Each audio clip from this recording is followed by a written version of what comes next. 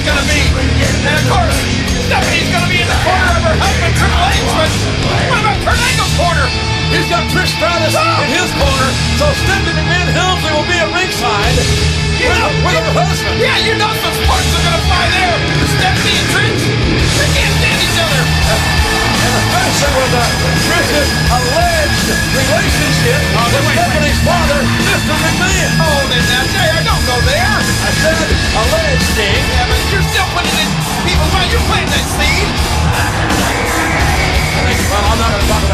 But and the game